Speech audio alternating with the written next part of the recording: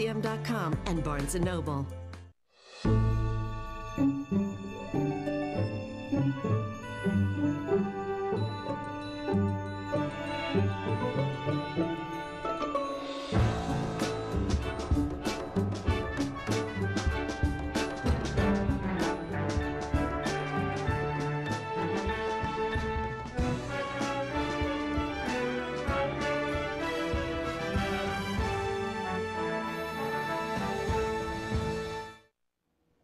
Hi, I'm Robert Osborne.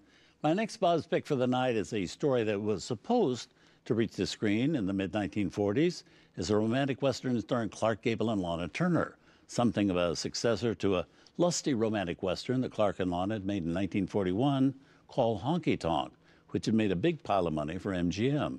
But that plan changed very quickly, as Hollywood plans often do. One reason being that World War II came along and Clark Gable joined the Air Force.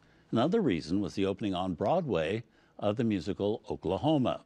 Now, that show opened on Broadway in 1943, caused such a sensation, everybody clamored to buy the movie rights, but they weren't for sale and wouldn't be for years. So suddenly, producers and studios in Hollywood started looking for other stories with rural flavors, which could be turned into a movie musical and cash in on the public's red hot interest in Oklahoma.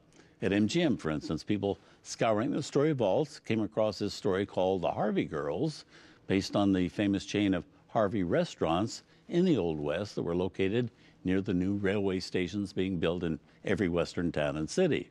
And somebody said, why not turn it into a musical? And very soon it was indeed being filmed as a musical. Without Clark Gable and Lana Turner, though. Gable was busy at that point making his first post war movie, Adventure, with Greer Garson.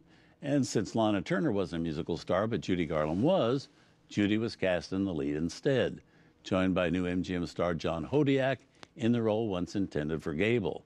Plus, Angela Lansbury taking over a role once intended for Ann Sothern, and also Ray Bolger's in it, Marjorie Main, who just worked with Judy in Meet Me in St. Louis, also Preston Foster, Cyd Charisse, and popular singer Kenny Baker.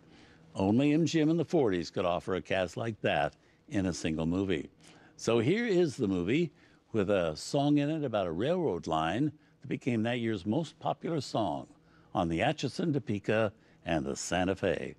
So from 1946, the Harvey Girls.